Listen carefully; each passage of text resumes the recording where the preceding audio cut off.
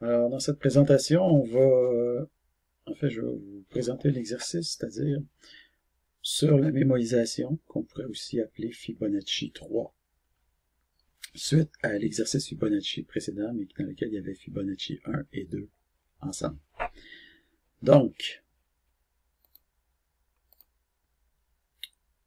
bah, c'est ça.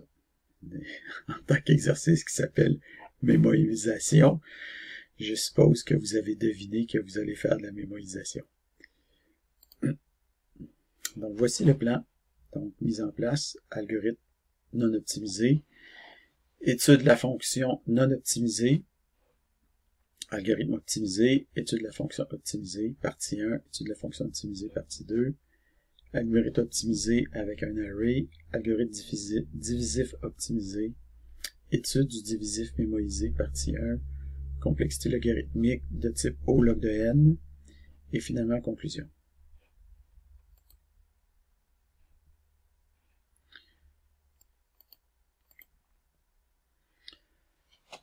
Donc, vous allez créer une nouvelle classe euh, appelée mémoiser. Ça va être une classe statique qui est dans la classe Fibonacci, elle-même étant une classe statique. Donc, vous créez une classe statique dans une classe statique. Il n'y a rien qui vous empêche de faire ça.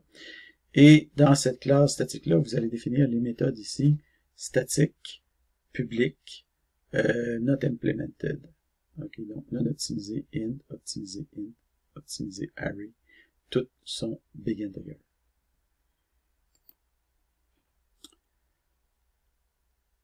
Dans menu Fibonacci.cs, vous allez décommenter la définition au début du fichier. Et alors, le menu pour calculer le nombre de Fibonacci va présenter plusieurs nouvelles options dans la section mémorisation que vous avez ici, donc non optimisé, optimisé, optimisé array, récursif divisif, qui en fait correspond à ce que vous avez ici.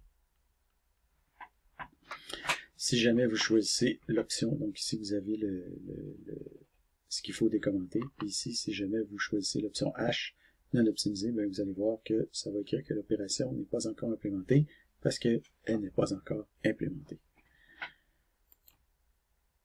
Vous allez faire une saisie en sélectionnant l'affichage 1 à 100 comme à la diapo précédente. Ensuite, vous allez ajouter les tests fournis, test et mémorisation.cs, et vous allez avoir des triangle jaune parce que les fonctions ne sont pas encore codées. Vous allez versionner.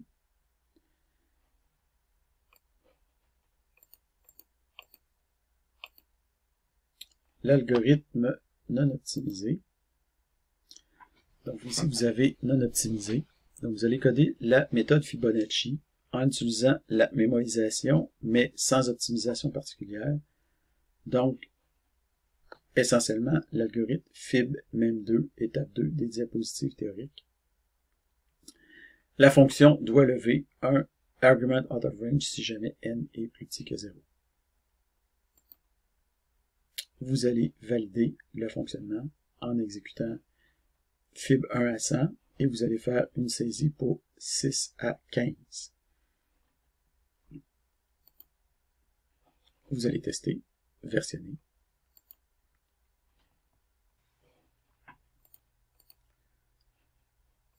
étude de la fonction non optimisée. Donc, d'après vous, est-ce que la fonction non optimisée s'exécute en temps exponentiel, linéaire, logarithmique ou constant? Donc, sur la prochaine diapo, faites une saisie d'écran qui démontre votre point et expliquez dans l'encadré votre raisonnement. Ensuite, indiquez votre conclusion. Ici, vous faites une saisie qui explique votre explication, en fait, qui va, qui, accompagne vos, explications pour déterminer si on est en, face d'une fonction qui s'exécute en temps exponentiel linéaire, logarithmique ou constant.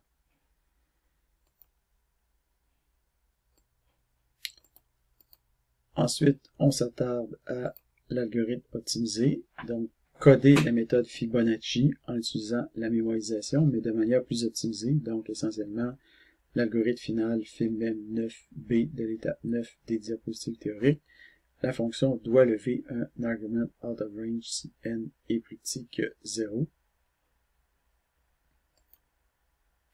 Vous allez valider avec une saisie d'écran et vous allez faire un test inversionné.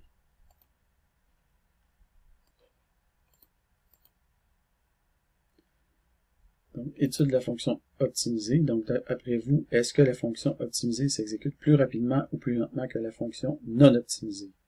Donc, sur la prochaine diapo, faites une vitesse, donc plusieurs saisies d'écran qui démontrent votre point et expliquez dans l'encadré votre raisonnement. Ensuite, indiquez votre conclusion. Donc, explication ici, votre saisie explicative, ça peut être plus qu'une saisie. Est-ce que c'est plus ou est-ce que c'est moins rapide? Ça se peut que ça soit équivalent aussi.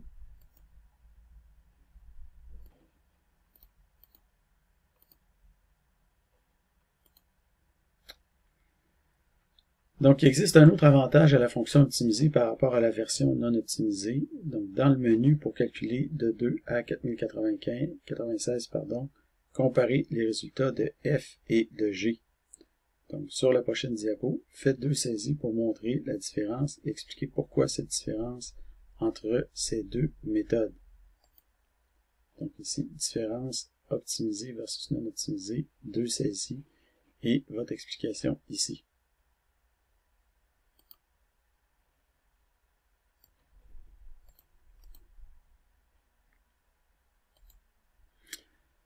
Alors, la mémorisation est une technique basée sur l'idée de cacher les valeurs déjà calculées pour les réutiliser ensuite. Un cache est essentiellement un tableau associatif.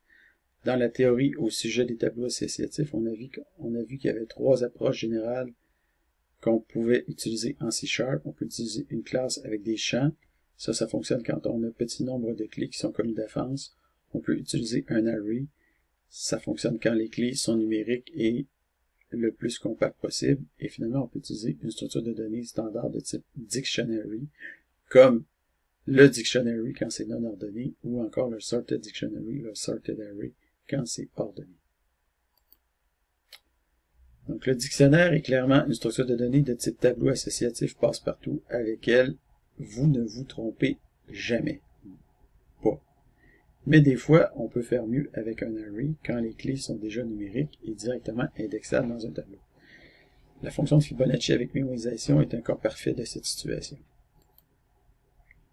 Donc, codage mémorisé array. Donc, coder la méthode Fibonacci en utilisant la mémorisation, mais en en utilisant, pardon, un array en guise de cache. Partez avec la version optimisée du dictionary. Donc, partez, en fait, c'est un indice que je vous donne si vous voulez euh, partir de n'importe quoi, vous pouvez partir de n'importe quoi, mais moi je vous dis que si vous partez de votre version optimisée Dictionary, vous risquez d'arriver assez rapidement à la version optimisée Array. Vous allez valider le fonctionnement. Vous allez tester, versionner. Après ça, votre fonction devrait normalement s'exécuter significativement plus rapidement que les versions mémorisées basées sur un dictionnaire sans toutefois excéder l'algo itératif. Donc, on voit ici. Donc, l'algo itératif, on rappelle que c'est 1 en termes de base de, temps. Donc, on voit ici que euh, Binet s'exécute 25 fois plus vite, mais évidemment, il ne donne pas le bon résultat. Alors que ceux-là ici s'exécutent plus, euh, plus lentement. Mais on voit ici que optimiser array, il s'exécute en fait en, euh, à peu près deux fois plus lentement, donc il s'exécute en 0,5 fois euh, plus vite, donc à peu près deux fois plus lentement, puis les autres ici à peu près trois fois plus lentement.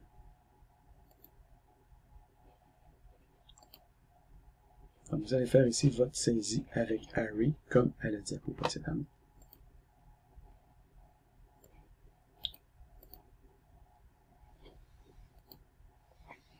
Donc, la mémorisation permet d'accélérer la vitesse d'exécution des algorithmes récursifs à récursivité multiple, comme la fonction de Fibonacci que on a ici.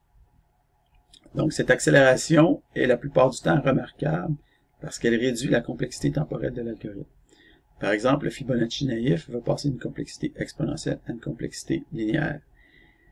Donc, on pourrait se poser la question, est-ce que ce serait pas possible? Bon, euh, c'est-à-dire, dans ce cas-là, il ne s'agit pas d'une micro-optimisation, mais bien d'une optimisation majeure. Donc, une optimisation majeure, c'est une optimisation qui change la complexité d'un algorithme. Si vous ne changez pas la complexité d'un algorithme, vous êtes dans une micro-optimisation. Donc, les optimisations majeures sont très importantes à faire en, programmation. Les optimisations mineures euh, ou micro-optimisation, on les fait uniquement lorsque c'est absolument nécessaire. Donc, dans le cas de Fibonacci, Évidemment, on aurait pu coder une version itérative pour obtenir un algorithme de même complexité O de n au lieu d'utiliser la mémorisation. Et comme on l'a vu, l'itératif est encore plus rapide que les mémorisés. Donc on pourrait se dire, bon, on fait du récursif, on fait de la mémorisation, blablabla, blablabla, blablabla, mais l'itératif, finalement, c'est ce qu'il y a de mieux. Ah. Ah. Donc, on a vu aussi que l'algorithme divisif était aussi performant que l'algorithme itératif, même meilleur pour un n assez grand. Donc on a vu que dans certains cas, certains algorithmes récursifs peuvent être supérieurs à des algorithmes itératifs. Donc, sachant que cet algorithme divisif est lui-même à récursivité multiple, donc celui-là ici, l'algorithme divisif est à récursivité multiple, on peut peut-être penser qu'en lui appliquant la mémorisation, on pourrait obtenir un algorithme encore plus rapide. Donc, on part d'un algorithme qui est déjà aussi rapide, sinon plus qu'un algorithme itératif, puis on veut essayer d'appliquer la mémorisation dessus parce qu'on se dit, c'est une récursivité multiple, donc normalement la mémorisation devrait peut-être nous donner quelque chose d'encore meilleur. Donc, est-ce que cette intuition est la bonne? C'est ce qu'on va vérifier dans cette partie-là. Donc, vous allez faire un codage divisif mémorisé.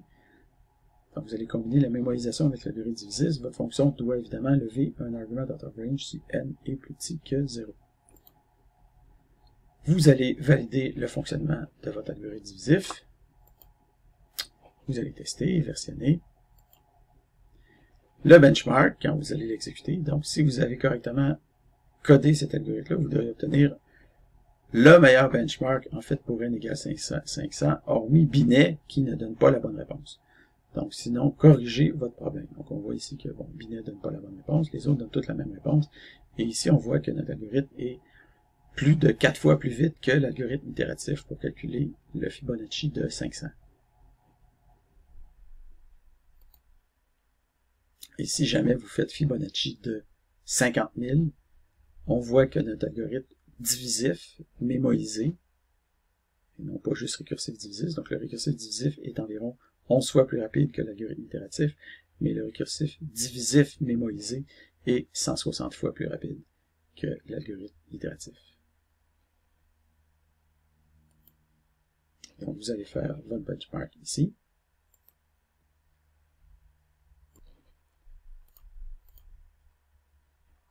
Donc, étude de divisif mémorisé, partie 1. Donc, d'après vous, est-ce que la fonction divisée mémorisée s'exécute en temps exponentiel, linéaire, logarithmique ou constant? Ben, si jamais vous avez regardé un peu les sections générales que j'ai présentées dans le diaporama, vous vous doutez peut-être un peu c'est quoi la réponse. Mais c'est pas tout de connaître la réponse, il faut savoir comment le démontrer.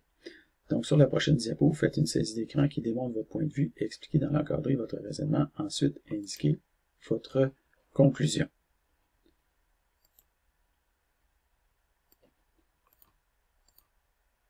Donc, en ce qui concerne la complexité logarithmique, donc étude de divisif mémorisé, partie 2. Donc, c'est pas évident de démontrer empiriquement qu'un algorithme s'exécute en temps logarithmique, au de log de n on peut se contenter de démontrer que l'algorithme s'exécute en un temps qui est situé entre O de 1 qui est constant et O de n qui est linéaire. Donc si c'est entre constant et linéaire, peut-être que c'est logarithmique, mais pas nécessairement. Ça pourrait être euh, racine carrée de n, par exemple. Ça pourrait être aussi log log de n. En tout cas, il y a plein de, de plein de, de, trucs entre euh, constant et linéaire. Il n'y a pas juste logarithmique. Mais disons que dans notre cas, euh, si on démontrait ça, ça serait déjà quand même possible. Donc, plus rapide que linéaire, mais plus lent que constant. Donc, mathématiquement, cela ne prouve pas qu'il s'agit d'un algorithme logarithmique, mais avec ce que vous savez, c'est probablement le mieux que vous puissiez faire dans la section précédente. Donc, si vous avez démontré ce genre de choses dans la section précédente, c'est ce qu'il fallait faire. Autrement dit, je ne m'attendais pas à ce que vous démontriez que votre algorithme était précisément haut de log de n. Donc, rappelons tout d'abord qu'un algorithme de complexité temporelle logarithmique est tel qu'en multipliant la taille du problème par 2, on augmente le temps constant d'un temps constant la durée de calcul. Donc, partant de là, si on affiche les durées pour n égale 2 à 4096, on devrait constater une augmentation environ constante du temps. Prochaine diapo. Donc ici, on voit que notre temps, on part de 2, 4, 8, 16, 32, etc. On double à chaque fois la taille du problème. Et on voit ici que le temps augmente environ euh, d'un facteur constant, mais rendu ici, on perd le facteur constant vers la fin. Mais ici, on a un facteur environ constant. Donc, ce qu'on peut voir, premièrement, c'est qu'ici, d'abord, le temps augmente, donc c'est pas temps constant au de 1, mais on voit que le t sur n diminue, donc c'est pas linéaire, sinon t sur n serait constant. Donc on sait que c'est plus vite que constant, euh, plus vite que constant, c'est-à-dire plus lent que constant, pardon, mais plus rapide que linéaire. Mais est-ce que c'est logarithmique? C'est ça la question. Donc, de n à 32 à 1024, le temps s'accroît d'environ un facteur constant entre 1 et 2, avec la classe du problème qui double à chaque fois, ce qui est indicatif d'une croissance logarithmique. Donc, vous allez faire une saisie de ce que vous avez eu à la diapo précédente. Donc, pour être plus précis, si jamais vous n'êtes pas encore convaincu, dans le menu, dans le fichier menu Fibonacci.cs, décommentez la constante log n à ligne 2, puis affichez de nouveau la série 2 à 4096 pour l'algorithme divisif mémorisé. Il y a une nouvelle colonne T sur log de n qui va apparaître. Cette colonne présente le ratio entre la durée et log de n, et il est environ constant, ce qui est caractéristique de l'algorithme logarithmique. Donc vous avez ici T sur log de n, ça donne 1, 1, 1, 1, 1, 1, 1, 1, 1, 1. Là, ici, on voit que ça commence à augmenter un peu vers la fin. OK. C'est un facteur qui est dû, encore une fois, au fait qu'on utilise des pics décimales, puis qu'on commence à utiliser beaucoup de mémoire dans l'ordinateur. Donc là, ça commence à... Il y a d'autres facteurs qui commencent à rentrer en ligne de compte dans l'utilisation des ressources et du temps. Donc là, le problème, l'ordinateur commence à avoir de la misère à gérer ça. Donc, ça, on perd l'aspect euh, logarithmique de notre problème. Mais grosso modo, jusqu'à une certaine taille, on a vraiment quelque chose de purement logarithmique. Comme on le dit, le truc du log, etc., c'est tout le temps théorique. Quand on arrive en pratique, c'est pas toujours exactement comme ça tout le temps. Mais ça nous donne quand même une bonne idée. Donc, vous avez ici faire une saisie comme à la diapo précédemment. Et si jamais vous exécutez de 5, 50 000 de, 5 de 50 pardon, à 1000, la croissance logarithmique est vraiment évidente si on voit que c'est presque tout le temps, la t sur le n, c'est presque tout le temps la même chose. Alors qu'on voit que le temps augmente, le t sur n, la linéarité, on voit que le temps diminue, donc c'est plus rapide que linéaire, mais c'est plus lent que constant, et on voit que c'est logarithmique, parce que ça, c'est constant. OK, vous allez faire une saisie. Et si jamais vous exécutez l'itératif, vous allez voir que t sur n ici est environ constant. Le temps augmente, t sur n est environ constant, et t sur le de n, lui, augmente, ce qui montre qu'on n'est pas dans un cas euh, logarithmique. Je vais faire la saisie. Donc, les informaticiens veulent plus que tout une complexité temporelle constante, O de 1, mais si jamais ils obtiennent une complexité logarithmique, alors ils sont généralement extrêmement satisfaits. Donc, on est très proche du Saint Graal, si on veut, informatique, avec l'algorithme divisif mémorisé.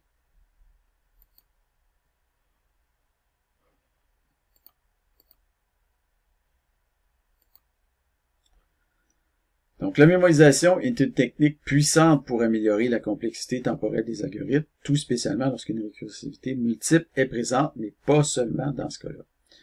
Elle nécessite cependant l'utilisation de mémoire. Donc, on fait un troc entre le temps et la mémoire.